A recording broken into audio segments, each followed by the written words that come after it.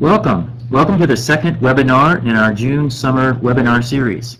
I'm Carl Blyth. I'm the director of the Center for Open Educational Resources and Language Learning at the University of Texas at Austin. That's a mouthful. We just usually say COERLL. And Rachael? I'm Rachael Gilg, Projects Manager of COERLL. Thanks for joining us again today for the second session and final session, I should say, of our webinar series on digital badges. This week's topic is creating and issuing digital badges. So uh, just a few quick reminders.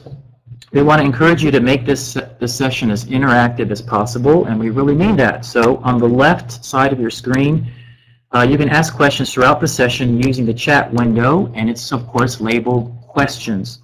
Uh, Natalie Steinfeld-Childre is back again this week to help us monitor. Uh, Natalie, say, say hello. Hi, everybody. Okay, there she is. Uh, she's going to be helping us monitor and respond to your questions as they come in. Uh, Rachael and I are focused on our slides and on the information, but, but Natalie's going to make sure that we stop and take your questions as they come in. So let's make this interactive. We'll also be monitoring Twitter. So if you're tweeting today, please use the hashtag, hashtag COERLL or hashtag C-O-E-R-L-L. If you get kicked out of the meeting room for some reason, um, please go ahead and log in under the same name just so we can keep track of who's here. Uh, some of you who are joining us today have already indicated that you'd like to receive CPE credits for participating in today's session. If you haven't yet submitted the request for the credit, then please follow the link in the info section that appears on the left-hand part of your screen and, and fill out that survey. You can also send us a note uh, at info at coerll.utexas.edu, and we'll make sure that you get a certificate for attending. If you missed last week's session, or if you don't see all of today's session for whatever reason, um, we do record all of our webinars and we post the videos and slides on our website and on our YouTube channel afterwards. And uh, finally, just a quick reminder about the changes in our event schedule this month. This will be the final session in our Digital Badges webinar series. But on June 27th, we'll be offering a three-hour webinar dedicated to design and delivery of basic online language courses. And we've got some great speakers for this event, including the technology expert from Carla, our sister LRC at the University of Minnesota. We're really excited about that, so we uh, hope that you join us. Uh, if you want more information, and of course the registration form, all that's available on the COERLL website. So, Rachael? Okay, well let's go ahead and get started. Um, I first want to start just by reviewing a little bit of what we covered last week. Uh, last week we did an introduction of digital badges, and for those of you that attended, um, you remember that we learned that digital badges are visual representations of a skill or achievement much like uh, the merit badges that uh, most people are familiar with. Um, and the fact that they are distributed over the internet, of course, gives them much greater visibility and um, are a, a, powerful new tool, we think, for learning. So what do we mean by an open badge? Uh, well, Mozilla uh, has created a technical infrastructure for sharing badges and related information about badges and um, who earned them over uh, a, a, variety of platforms. So their infrastructure actually lets you display a badge across many different websites or communities that you might be a part of online. These badges actually verify uh, your skills with links to evidence showing that uh, what you did to earn the badge and um, they have that assertion of the issuing organization. So you see all of the, the background information about uh, what the badge required and what the person did to earn it. And just a reminder, this is what's included in a badge. If you kind of pull away just that image, it's not just a static image. It includes information about, as I just mentioned, the criteria, who issued the badge, if there's a link to some sort of evidence uh, that, that shows the actual, uh, what was produced in order to earn the badge, when it was issued, if it's tied to any standards and any other description. So this is really um, a format that is meant to be portable and shareable online. And again, uh, just a reminder, um, the, the sort of badge ecosystem that Mozilla is trying to create is represented by this infographic. Yeah, we also have it linked in the file share section below if you want a larger copy of it. Um, but basically, so on the left side, uh, you have the learner in the center, and then on the left side, you have all of these places where the they may be going for uh, learning opportunities. I mean, in our case, we like to think we're interested in badges for professional development, so we like to think about the educator, maybe going to these different places for um, professional development opportunities, uh, not only universities, but maybe a language resource center or professional uh, organization. They can earn these badges, these, these digital signifiers of their achievements, and they can collect them in a badge backpack which I'll uh, we'll see again in just a moment. And then within that backpack, they can organize the, the badges and then decide where to display them online in the various communities that they're a part of. So that's just kind of the overview from last week. We do have that session recorded if you missed it. Um, you can find it on the homepage of our website. And what we asked you to do at the end of that session was to uh, take a stab at creating a, a, your own badge concept, something that would be relevant in your context, whether it's K-12 or higher ed, or whether you're talking about a classroom or training teachers and using the badge in that context. So we're, we're really glad to see we got um, several really great ideas. We're going to share some of those with you later on in the presentation. Um, but I do also want to say that it's not too late. If you want to go ahead and do this assignment now, we will continue to accept them and then we can, uh, if you turn it in, then we actually will issue you a badge. So you'll get to learn about how that whole process works and you'll get to set up your own backpack and um, get started with that. So I encourage you, if you didn't do the assignment, go ahead and, and do it just so you can see how all that works.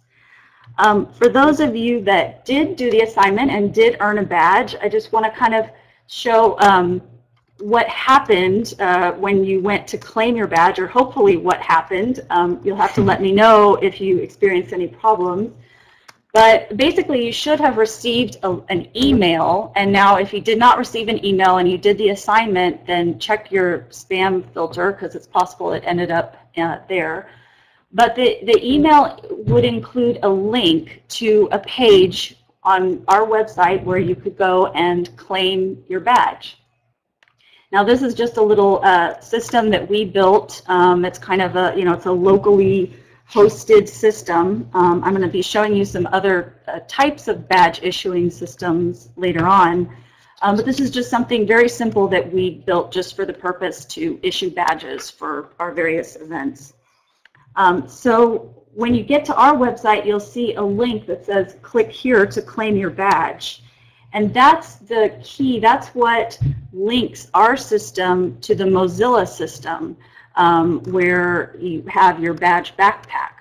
So once you click that link, you get a little pop-up, and this is actually coming from Mozilla, saying, okay, you're going to send this badge to your backpack. Um, let's log you in. Um, so once you log into their system, now it's important that the email that you have associated with your badge backpack is the same email that you were that badge was issued to because that is the unique identifier for the earner of the badge is their email address.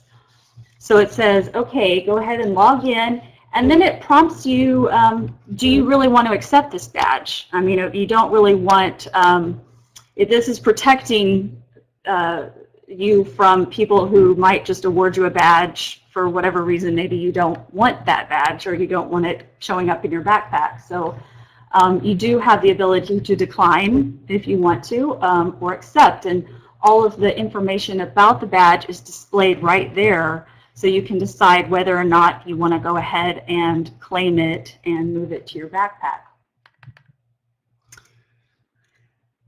Okay, so then once it's in your backpack, it'll show up here. I did show uh, some screenshots of the backpack uh, last week, um, but you'll see, you know, you have all your badges here. You can organize them in different ways. There's a, a little collections link at the, the top that will let you um, put badges in different categories for maybe showing to different audiences. Can I just make a comment about that? So um, again, you can you can get badge badges from all kinds of different topics and dis disciplines. So the idea is really to curate your backpack. So if you want to have a professional development backpack for language teachers, then that would be like a folder. She said a category. Um, you could have uh, a group of, of badges that have to do with your hobby. Let's say you're into gardening or landscape design, something like that.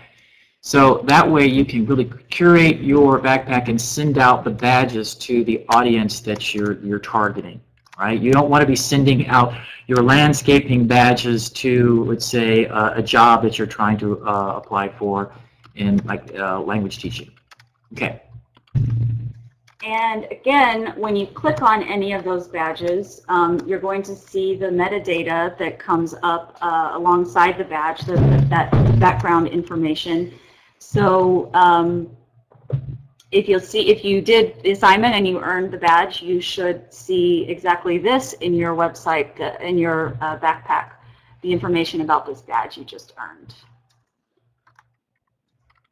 And if there are any questions about this, or, or if you had any problems or um, thoughts on this whole process? Yeah, there is. There is um, one question from S. Johnson about designing the actual badge image, and there is a website for that, right? Yeah, Yeah. we're going to get to that. We're going to, We'll, we're, we'll talk about we're that. actually almost there. That's, that's a good um, But, but a couple of people have, have already written in, and I noticed Natalie is responding to them. So remember, um, some people had trouble downloading, I guess, the file to, to actually do the badge. Um, I it, link that.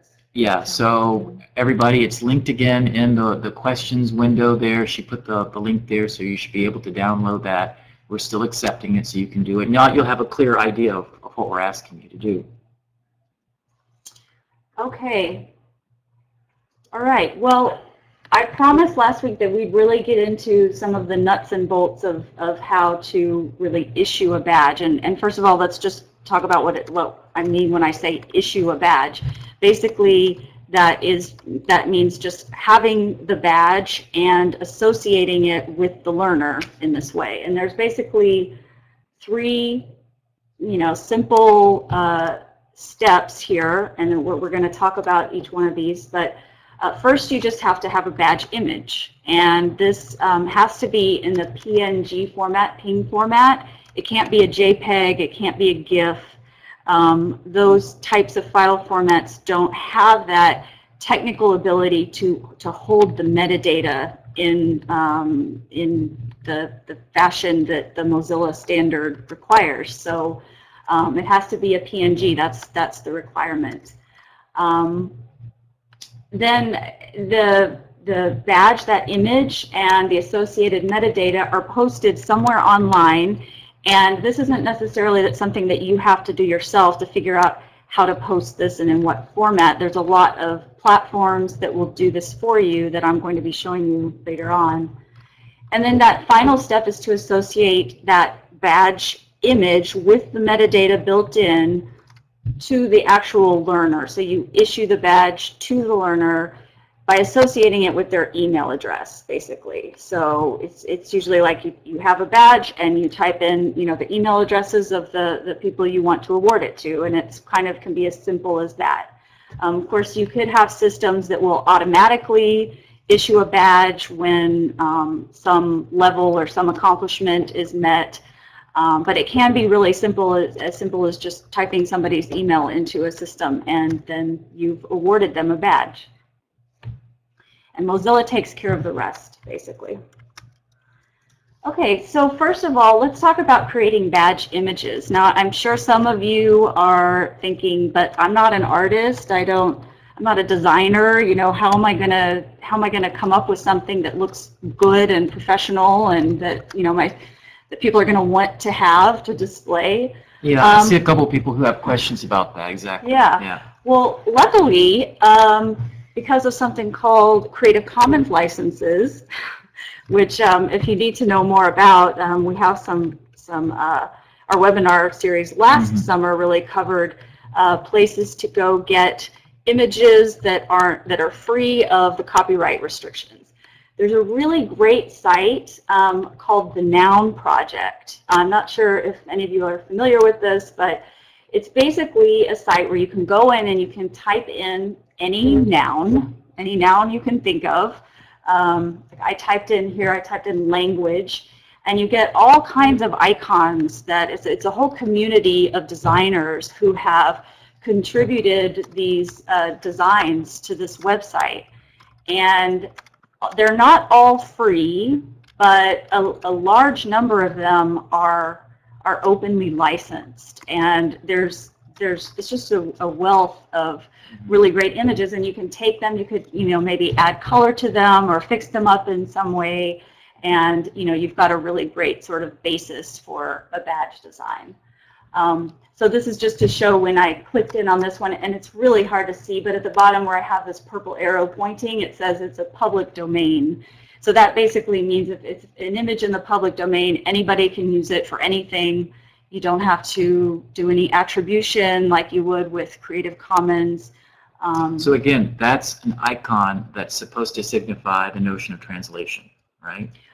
that's right. right. That's Okay, are there other than, let's say, I, that's not my language, you have to look through for, so that might be one of your criterion, you know, I, I like this, but maybe you could then take that and play with it to, to, to make it work for your language. sure. Yeah.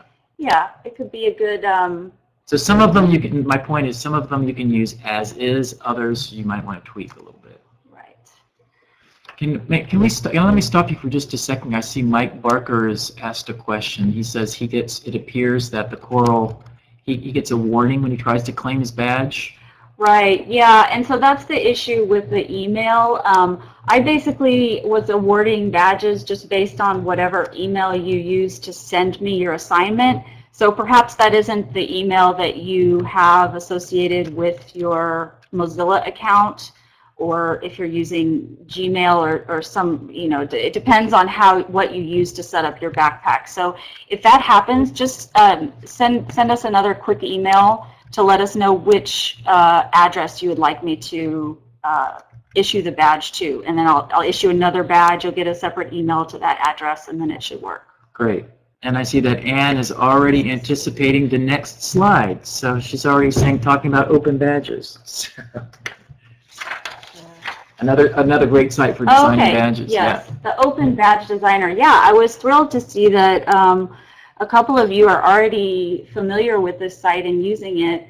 Um, this is a really great tool. Um, it lets you, it's, it's free for one. Um, you can go in, you can build your badge image. It really is just for the badge images. You can't use this tool to issue a badge. You'll have to use a different platform for that. But for just creating the badge image, this is the best tool out there. Um, so once you go to the home page, you say, you know, I want to start building a badge. And then you'll see you have all these palettes here. Like this is something on the right that I just put together in like two minutes. You can choose all of these different uh, design elements and it puts it all together for you. It's You can play with colors and shapes and I mean you, there's there's just an infinite number of variations that you could create with and it really was developed specifically for people creating open badges so it's the perfect tool for uh, designing your badge um, you can then just download your badge I think uh, in this free version you cannot save a badge but you can go ahead and just download the image and then you can start using it in your badge Mhm. issuing system. Um, so, so that I would highly recommend that tool. Um, and it'd be a great tool to have, you know, your students use too. You know, have engaged Mhm. students in designing badges. Any, you know, it's a very simple, um, simple tool. Okay, so we covered the first uh, bullet. Now, the second two, um, really that's the, that's the meat of the badge issuing. And um, again, you know, these are things that are going to be done for you. You don't really know, I mean, you don't need to know, you know, how exactly to format the badge metadata and put it online. Um, you just need to find the right tool that can do it for you. or you need to find, you know, a programmer, and it, and it really is pretty simple programming to, to kind of build your own um, badge issuer. But there's a variety of tools out there now, so you don't really need to, to build your own. Um, so here's a sampling of some what we call hosted badge issuing platforms. So these are platforms where you uh, generally have to go and sign up for an account with them and they provide the tools to help you create create the badges and then issue the badges to your to learners. So uh, the learners generally also have to have an account on this site. And the, the, the kind of the two first ones that I found out about were Credly and Achievery. They've been around for quite a while. And those, you know, are, are Quite, quite a while, meaning two years. I mean, Yeah. quite a while in the badge context is just not, Right. not very long. Yeah. Right. The, some of the, um, for all badges, I'm not really sure how long that's been around, but Mhm. um, that's another option. Um, Open Badge Factory is very new, and both, I would say Open Badge Factory and Badge Kit are really aimed more at the organizational level. Those wouldn't be so much for, you know, individual teachers who just want to get started with badges. If, if you're just a teacher and you, you know, you want to try out badges with a group, I would, I would try one of the first three options. Um, the last two options, uh, you know, Open Badge Factory is definitely going to, is a for-profit and, uh, you know, they're having a free pilot now and it looks interesting. Um, if you do, are doing this at an organizational level, you might be interested in it.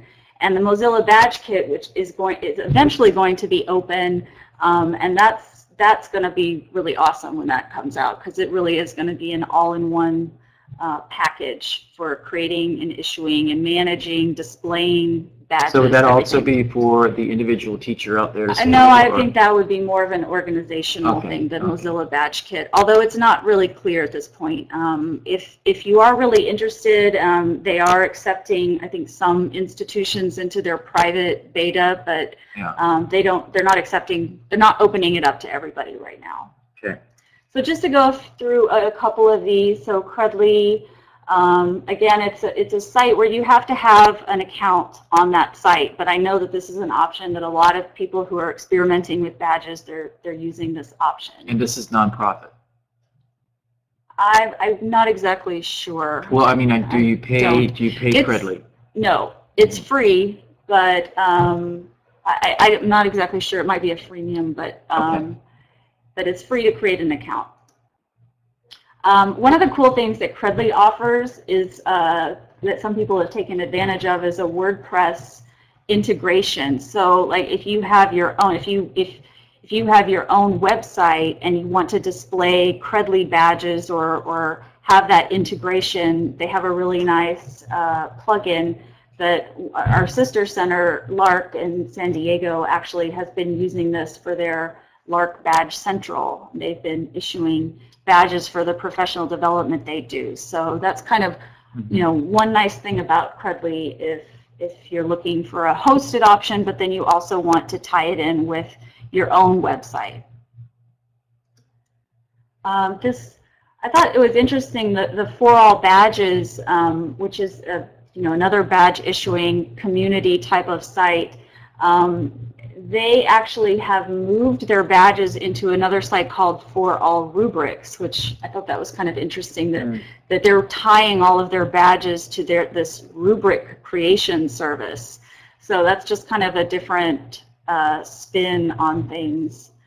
Um, it looks like, okay, Natalie just. just Natalie's, went off- Natalie's laptop just went offline. Hmm, okay. Okay. Well, Natalie might be off the chat for a few minutes while she reboots her, her laptop. But we're, s- we're Um, still here, and that's okay. Okay, so Open Badge Factory, again, um, as I said, I don't know what's going to happen with this uh, site. They are in a free pilot phase, so if you want to try it out, um, it seems kind of interesting, but I don't really know a lot about it. And I see Mike asking about a Moodle plugin, and yes, I'm going to be talking about the LMS plugins too in just a minute, because a lot of uh, LMSs do offer integration. Um, again, BadgeKit, you would have to contact them if you're interested. I know they're just really looking for kind of large organizations at this point to be a part of that, that trial. Uh, recently, Pearson uh, announced that they have a badge issuing platform, um, which is interesting. It sort of remains to be seen. I haven't heard a lot about this, uh, you know, from Hmm. sort of the badge channels, but I did see that they announced it, and um, these are open badge compliant. So Mhm. it's good they're compliant with the Mozilla infrastructure. So they might become a player. And it's interesting to me, just that slide there, you see at the bottom it says, this again is coming from Pearson, you're more than just bullet points on a resume. So the frame there, of course, is professional development and, and professionals who are promoting themselves and their, their achievements. So they're thinking in terms of your, your, your portfolio. Okay, so in addition to all of these hosted options, there are a number of tools that will plug into an LMS or CMS, such as Moodle or Blackboard or Canvas or others. Um, these really are more, if you think about these these badges are really self-hosted um, because wherever you're, whoever is hosting your LMS, that's where the badges are going to live, rather than having them hosted at one of these third-party websites where you have to have a separate account and everything. So it's really nice because they will integrate. You know, you don't have to have your students sign up for another account on another host. Um, but you will have all that student information and you'll be able to issue badges from within the system. So this is a, a screenshot from a Moodle installation where you can see, it says, you know, my badges, and you have the badges at the top. Um, this is, you know, of an individual's profile and it's showing their badges. And so you have the badges that they earned from this Moodle installation at the top, and then at the bottom it says my badges from other websites. And so that just shows how, since they're using an open, the open badge um, Mozilla standard, you can actually display uh, your other badges that are living in your backpack. So that's an example of a plugin that's not only letting you issue badges to people, but also lets people display the badges, not only badges that they've earned there, but badges that they've earned in other places. So that's pretty cool. Um, Canvas uh, has offers some badge plugins um, through this um, EDU App Center, uh, which is a place to get applications that plug into various learning management systems. Some of these actually may work with systems other, in, other than Canvas. Um, this is that LTI, if Mhm. I don't know, if some of you are familiar with. Um, it's a new standard for um, creating plugins that will work across a variety of of learning of learning management systems. Mm. So some of the the apps that are appearing on this site may also work on on your LMS. Um, and I know also Blackboard. I did. I don't have a slide for it, but I know that Blackboard Learn does also. Uh, they've they've been interested in, in badges, and they they have a Mhm. badge plugin as well. Okay. So this is just kind of a chart, and you can you can get this from our website. Um, the website openbadges.coerll.utexas.edu.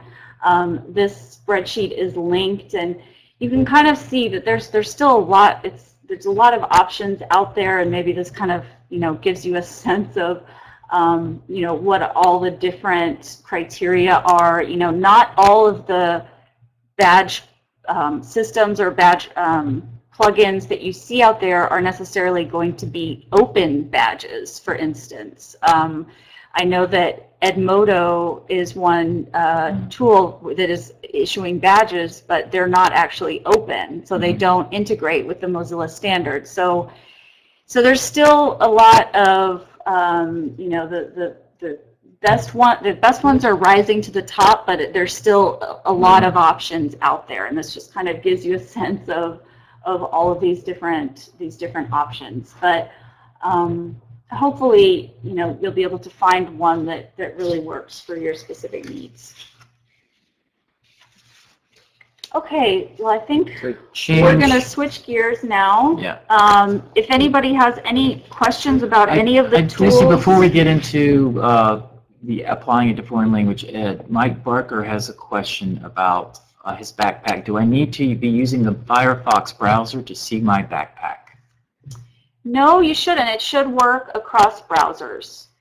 It Yeah. isn't, um, just because it's a, it is a Mozilla Mozilla, yeah. tool, Right. but it's not tied to the, the Mozilla Firefox browser. Yeah. So it, it should work across all browsers. Okay, so let's talk a little bit about then applying badges to foreign language education. And uh, will you click for me then, Rachael? So we have taken, um, actually, as, as we said at the beginning, we received some of your really interesting ideas uh, for badges. And I just want to walk through a couple of them. Um, these are really nice concrete examples of the different parts of a badge. So the first one is from Marcella, um, and she is thinking of giving a badge to beginning Spanish students, and she calls this a VoiceThread or a VoiceThread project. Um, and the idea is to create a presentation about a Spanish-speaking country using VoiceThread, which is a really nice way to present slides and uh, animation and and um, and to talk over that. So she says that she wants at least 10 slides for the presentation, and you should include things like geographic uh, location, culture, climate, animals, food, all that kind of information that typically goes with that kind of report. The evidence then um, would be the presentation that meets the criteria as specified, so the different kinds of uh, bullet points. And she also says she wants it to be uh, reach a level of excellence in terms of presentational and interpersonal rubrics. So she's using uh, kinds of standards. The value would be to show the ability to communicate, written and orally in the target language. Um, and I believe she said that she's used the, the badge template from Open Badges here. So this is an example of what we were just talking about. She created this, this badge using openbadges.me. Um, my, my feedback is that um, when I looked at this the first time, VoiceThread project, uh, she kind of, it presupposes that they understand how to use VoiceThread. And, and in a way, I think it's more about um, a culture presentation or a presentation. So I didn't know that, but uh, it was as completely as transparent as, as, I mean, I think the name could be a little bit more transparent, but I really like this idea. So let's take a look at the next one. Anne Marie Baker sent in um, uh, an example from Michigan State University, and they're calling this the Motivated Learner Badge. And they've started something at MSU, at Michigan State University. It's a learner training module, so training uh, foreign language learners and the principles of language learning to raise their awareness about what it, what it, what it takes to be a good language learner. And they actually have three different mo online modules. You can go see them at learninglanguages.celta.msu.edu. Actually, um, if you could type that in, Natalie, if you could put that in, can you type that? It's learning languages, all one word, learning languages dot celta dot msu edu. Um, hopefully we'll get that so people can take a look at that that website. But uh, the idea then would be to uh, to do take uh, make at least one post in one of the comment areas on the modules, and then the modules end with a summative quiz. So the evidence would be that, that the criteria are met um, would be, of course, the post itself in the, in the, in the, on the site, and also the successful completion of the quiz. And she um, has a cutoff point of 80% accuracy. And so the value, of course, why would somebody want to collect this badge? Well, students can show teachers or future employers or grad schools that they're serious about language learning. Um, okay, so another example, I thought that was a really cool uh, example based on um, modules that they've developed at, at Michigan State. So the next one comes from Tina Dong here in Austin, Austin Independent School District. And Tina is the World Languages Coordinator for, for AISD. And the name of, um, of this badge is Leading Over the Expectations in LOTE. So it's actually a play on words. LOTE can stand for languages other than English in the context of Austin Independent School District, but it's also to uh, reward those teachers who are going above and beyond in teaching languages. That's the idea of lead, leading over the expectations. And um, so it's a badge for world language teachers in uh, who teach at Austin, Austin Independent School District. And the idea is you have to fulfill 100 points required on the teacher recognition form per school year. So you're trying to accumulate 100 points during the school year. And the points are, are listed in four different areas, leadership, ongoing learning, teacher professionalism, and experience. And in addition to the points, you have to submit a 200-word paragraph highlighting memorable teaching moments of the year. Um, she also appended with the um, with this file, she also gave us then the checklist because the four categories, for example, leadership, ongoing learning, teacher professionalism, and experience, that, oh, by the way, spelled LOTE, L-O-T-E, um, are all broken down into rubrics, so checkpoints, and you're, of course, getting points for each. So for leadership, gives it breaks down into honors, awards, um, community outreach, leadership, such as um, being a department chair, or sponsoring a club, a club sponsor. Ongoing learning, you can get points for graduate study or other professional study. Um, you can participate in professional development activities such as the TELL framework, international travel, study abroad. Teacher professionalism, you get points for membership in professional organizations, attending, attending conferences, holding offices in organizations, and so forth. And finally, experience is has a lot to do with bringing the community into the classroom, so guest speakers, organizing, field trips, all those kinds of things. So it's something that um, has actually been established, it appears, by Austin Independent School District. And um, the value then, why would somebody want to collect this badge? Well, obviously you're documenting what you were doing as a language teacher in, um, I think, a very clear and systematic way.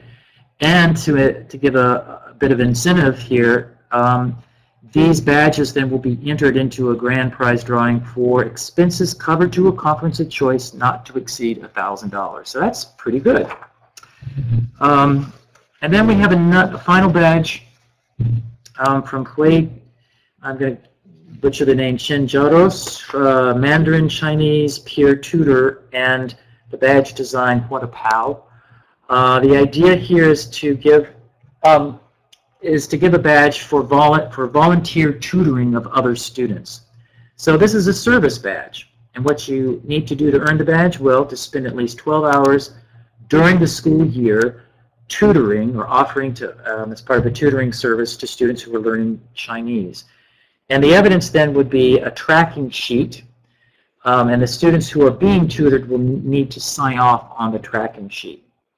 So why would you want to collect this badge? What's the value? Well, it's a community service. You want to document your service. You could be part of a college application, or even if you're going to apply uh, to be a paid tutor later on. So um, those were a nice kind of sampling of, I think, really different kinds of badges, uh, service learning, um, professional development, um, even something tied to, to a, a course. Okay, so Let's talk a little bit about, um, let's see, the badge system design. And I like the graphic that, um, that Rachael has chosen for this because it's a web and everything is connected to everything in badges when you start to think of systems. Um, so then the, the, the two bullet points here, decide the size and purpose of the badging initiative because it can be overwhelming if, if your badge is actually connected to everything. Just like a, in a curriculum, there's so many parts to a curriculum, but you start by thinking about your curriculum, curriculum and map it out. Um, I think my basic, my, my advice would be to start small, obviously, and you don't have to badgeify every element of the curriculum. So let's just take a look at a couple of concepts behind badges. Um, and this, uh, Rachael and I were on a panel discussion about badges at the Calico Conference at Ohio University in May. And Mirjam Hauck from the Open University uh, told us about the Open University's efforts to create badges for their MOOCs. And she gave us this really uh, great PDF to think about it. Think about um, different kinds of types of badges. And the first one here uh, then is um, what they're calling a waypoint badge. And uh, the, the main idea is that when you think of, of learning, it's usually the metaphor that they use in this, in, in this article is an arc. So there's a beginning point and an end point, and then these are various stages. So you can give badges at various stages of, of your learning arc or trajectory. Um, this could be something as simple as, and again, this, this implies then some kind of a calendar it's longitudinal, right? Um, so most of us have, have a syllabus or um, with well-defined points along, along the way. So a test, an activity, those kinds of things are, are, are, are, are easy to badgeify. Okay, the next type um, is something that they're calling a commun, commun, cumulative accomplishment. Uh, and the idea here is some kind of activity that you need to do several times. So uh, you set some kind of a threshold, and once the threshold is reached, the person can get a badge. Uh, what's nice about this is it's not tied then to the calendar, so if they want to, they can complete the threshold at the beginning of the year or at the end of the year or whatever. Okay? Um, and then finally, the third type of badge uh, is to reward people from deviating from uh, from the the learning arc or, or from deviating from the group. And this, of course, can be more um, to uh, get people to really follow their own paths or to create their own paths. So it's to, to, to uh, have people become more independent learners. In other words, they're to, supposed to do optional activities that are not essential to the course. They're related to the course, but they're not uh, the focus of the course. So learners kind of set up these breadcrumbs in order to, to stretch their abilities. Okay, so those are kinds of different, those are very different kinds of, of types of badges to help you think about what you could badgeify. Okay, and sort of another approach of thinking about design principles for badges um, comes out of this really interesting research project. Um, a, a few years ago, there were several grants offered for creators of digital badge systems.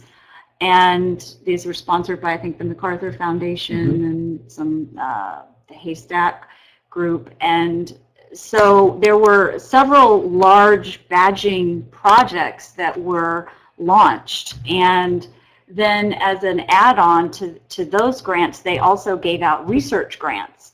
So uh, this was to do research on those badge systems. So now that the results of those that research is starting to come out, and um, this project from Indiana University School of Education is called the Badge System Design Principles Documentation Project. And what they did is they went through and looked at all of these badge systems that had been developed and launched and uh, tried out, and they they tried to identify what were the principles that these systems were using to recognize learning, assess learning, motivate learning, and study learning.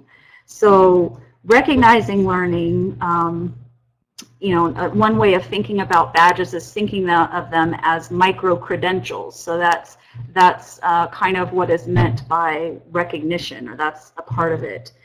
Um, assessment, obviously there has to be some form of assessment to substantiate the claim of learning, to provide the evidence of the learning.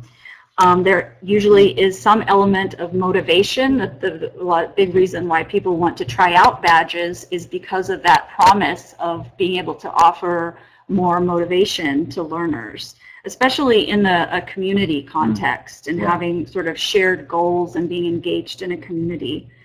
And then finally, um, for studying learning, badges offer just another opportunity to look at, um, you know, does this improve learning or, you know, what kinds of things can, can we understand about learning through using badges. So I'm actually going to talk through, um, because I think it's very useful that the actual principles they identified, because these are concrete things that, that the badge systems were doing and you know, you don't have to to to look at um, to think that you have to use all of these principles, but there's a lot of really good ideas for how to structure badge systems to accomplish these things. So um, let's just go ahead and get started with the recognizing learning. So let me, before we go there, I just want to say, I see a couple people are writing in now. Mike Barker has posted something about his own uh, uh, attempts at, at creating badges, and he said something I think is interesting. Uh, create several badges that fit together. So you don't, you do want to, uh, he said, for example, three puzzle pieces that fit together to create something larger. Natalie answered him. Um, so when I was talking about three different types, uh, I was also, uh, when I first started thinking about badges, I was only thinking in terms of grades and, and I was thinking about my curriculum instead of, I started seeing other people who were adding on to the curriculum. So um, I think Mike's point is well taken. You, you can go in many different directions, but you do want to see how, somehow how they fit together. So, uh, and I also want to comment about S. Johnson up there. She said she thought that digital badges meant to be given to, to people who are doing digital accomplishments. No, not at all. Um, it is true that that's a little ambiguous, but um, they can be for anything uh, that has to do with, with, in our context, of foreign language education, so any kind of learning. Okay, so principles for recognizing learning with badges. All right, so these are just, you know, a sampler of different different strategies that people used in order to boost that recognition um, part of badges. So the first one is to use badges to map the learning trajectory. So um, this is kind of going back to the waypoints of recognizing steps along the way to a goal. It can really provide um, an illustration of, of pathways um, through learning for and make uh, for the learners. Uh, the second one is align badges to standards. Um, this is going to uh, give a learner greater recognition if it's linked to some type of standard that's accepted by the community. Um, a lot of the K-12 badges, you know, are aligned to Common Core and a lot of other subjects. But it's a matter of figuring out, you know, what are the standards that are relevant um, to to this community and how should we align our badges to those standards. The third one is to have experts issue badges. Um, so this is going to give the badge more weight, right? If an expert is actually recognizing this accomplishment. So, you know, if we're giving out a professional development badge, you know, it might be good to have a, a master teacher or somebody, you know, with, with a lot of Mhm. uh, expertise to actually be awarding that badges. That's going to give greater recognition to the learner. And you could build that right into your class. I think that's a great idea. Yeah. Um, another one is to seek external backing of the credential. So getting an endorsement um, will make the badge worth more. So, you know, one thing that we've been doing is talking to professional organizations, um, you know, both ACTFL and also AATSP and AATF, these, these um, language-specific organizations, um, because if they're endorsing a badge, if they have that name recognition, that's going to be better recognition for the learner. Uh, recognize diverse learning. So this is something that you know badges can do that that credentials really can't do. You can recognize the types of learning that don't fit. You know, maybe um, soft skills or mi these micro credentials, maybe a, a, a piece of a credential. Um, badges can really be flexible and recognize lots of different types of learning. use badges to show learning to others as an external communication. Of course, this is a uh, major piece of the whole reason that um, that we want badges to exist, and it's about you know having this audience for the badges and who is your audience and um, what are they going to be looking for when they look at your badges. Determining the appropriate lifespan of the badge. So you know, you need to decide, is this going to be a temporary badge that somebody needs to renew after five years? Hmm. Or do we want to really, you know, is the value of the, the recognition going to be increased if we make it permanent? And if we, and if we do make it permanent, we have to think about where are we going to keep the evidence and make sure that everything stays up there. So that's a really important consideration when you're creating a badge system. Recognizing educator learning, of course, this is one use for a badge system. Um, one thing that I've heard from um, like high school uh, teachers that I've talked to is this would be a really great way to show parents what my professional interests are as an educator. Yeah. So this is the kind of, you know, another way, another form of, of recognition specifically for educators. And then finally, um, awarding uh, formal academic credit for badges would um, obviously give them um, more value. And we've looked at, you know, sort of mapping our badges to CPE credits or, you know, looking at ways to kind of um, map between the, the systems. And I guess there's actually, oh yeah, so that's the last one. So then, oh, one more. Promote discovery. Um, so the, the idea behind this one is that you can um, build practices to help, that, that badges can actually help learners find more opportunities. So because you're posting these badges online, you know, others can see, um, can, can recognize, you know, maybe an opportunity that, that they would like to pursue. So mm-hmm. that's, um, that discovery of connections is mm-hmm. um, another role that badges can play. And again, you know, we're looking at this long list. You don't have to do all of these things with your badge system. You can just pick one or two. You know, how are you going to um, really take advantage of the potential to recognize learning? So assessing, um, you know, there's nothing that really earth-shattering or groundbreaking here. I mean, many of you are familiar with a lot of these ideas um, of assessment. We've talked about the idea of using leveled badge systems and designing, designing your assessments around these um, sequences that will allow students to progress through the learning. Um, expert judgment, you know, if you have an evalu, if, if, you, if there's an evaluation piece, um, you would want to, you know, bring in an evaluator and have that person um, do the, the, that, that piece of the assessment aligning assessment to standards, of course, you know, creating a measurable learning objective uh, that goes along with the badge is very important. Um, performance assessments, uh, these are going to be very common with um, language teachers when a learner has to perform a task or demonstrate a skill. Um, that's a way to approach assessment for badges. E-portfolios, this is a use for badges that I think is very popular. Um, at least we think it's very interesting because you've got the evidence there. That's the perfect um, use of a badge that you could um, link then to the evidence. Um, formative feedback in assessment can be useful. Um, and then the next one, mastery learning.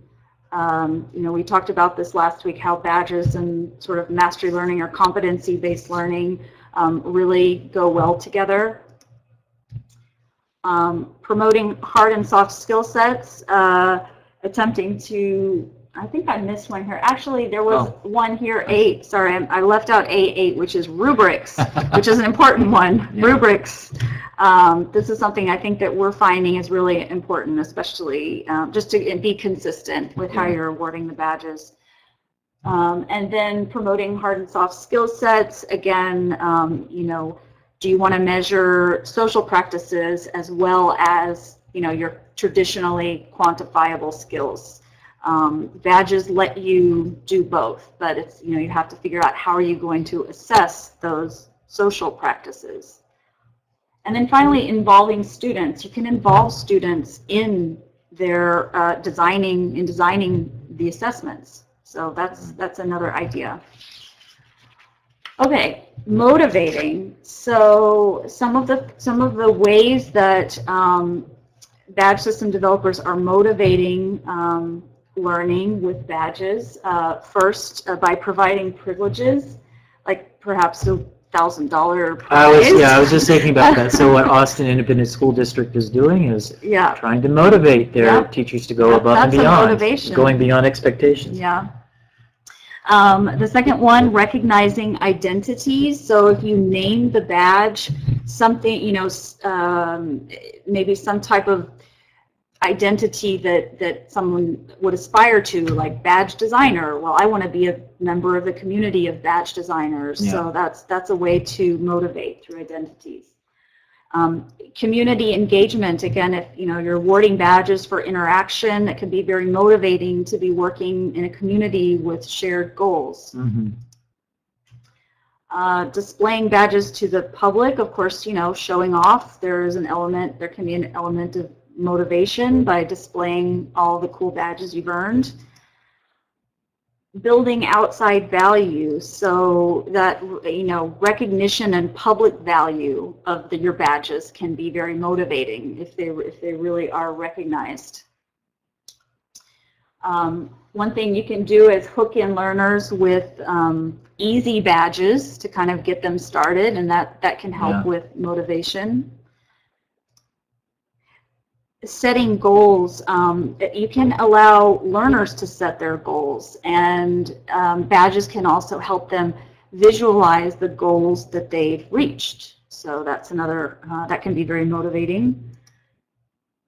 Uh, using different types of assessment. Um, so the motivation level is going to, you know, differ with different types of assessment. And so I think the suggestion here is just to maybe play around, maybe have different types of assessment that um, for, for different activities. And recognizing different outcomes. So recognizing both performance-based and effort-based achievements. Mhm. and promoting collaboration, um, recognizing collaborative achievements can be motivating. And finally, there's the whole competition angle, and this kind of comes from games and leaderboards and point systems Right. and um, all of that, you know, Right. can, can be motivating as well. So a lot of ideas there. And then finally, um, the next slide includes, and you can just kind of pull those up. I'm not going to talk through these, but if you are interested in the, they did outline principles for studying learning with badges, and I would um, suggest checking out the Badge System Design Principles website to learn more about that. And if you click through the next, there's actually, they have, a, it's kind of cool, they have a, this deck of cards that you can print out. So with all of those items that I just ran through, there's cards um, that they've created for each one of them, and you can sort of mix and match the cards. So you can pick, you know, what is my badge system going to use for recognition? What am I going to use for assessment? What am I going to use for motivation? Because obviously we're not going to do everything, but Yeah, it I might give think you that's a some good point, because all of those bullet points are, n- nobody's going to be able to force all those bullet points into one No. course or to one badge. That's not the idea. So it's just giving you an overview. Yeah. Yeah, okay. All right, and I wanted to uh, just end by um, mentioning that we do have our Open Badges website if you want to learn more. And there, I would also encourage you, if you're really into this idea of badges, Mozilla has a community and, and it's open to everybody. Um, Mhm. They're, they're very open Mhm. and you can actually join their calls. They have a community call every Wednesday, and they always have some interesting presentation, some a lot of just really good case studies of people who have designed badge systems or who are using badges in some way. So um, I would encourage anyone to, to get on that call and, and, you know, you can, there's a real opportunity to learn and, and be on the Mhm. cutting edge of something, really. Um, I, I want to tie that into what Amy Pierce just has wrote, written here. She says, I can see collaborating with teachers of other content areas to promote reading and writing skills, a consistent area of concern in my school for larger recognition. I would say that um, like the Mozilla Open Badges community or um, it's helped me to, to get out of just foreign language education and look at other fields, even fields that aren't related uh, to languages, such as the STEM fields. Um, because at a certain level, the principles that Rachael was talking about, um, well, let's let's be frank, the STEM fields are ahead of us in applying some of these badge principles, and you, and so at an abstract level, we can see how they're working out at other in other disciplines and adopt the best practices and kind of tweak them for foreign languages. So, yeah, um, I just encourage everybody to kind of click, uh, go to these these sites and start reading about what other people are doing. Okay, well, we finished now. Our time goes quickly. Uh, thanks very much for all of your um, great postings and your ideas. And again, we, we want to remind you that we're having uh, a webinar on July 27th. Um, again, it's open to anybody. It'll be about designing and delivering uh, online languages or language learning. So thank you guys so much for your your participation today. Talk to you later. And I'm really looking forward to seeing your badge system, so Yeah, keep- please keep us posted if you do anything, even if you just do one badge. You know, we're really interested in knowing, you know, what people are doing and how it, how it goes, you know, if, if it's successful or Yeah, we or might what you'd like to change or, or what support you need, you know, like what would make it a lot easier for you to do this. Like, we're Exactly. Really interested. we should have some kind of webinar where we just say what what did we do because um, like again when Mike was sharing about his attempts we, we might do something like that. So anyhow thank you guys very much for your attention and participation today. Bye bye Bye.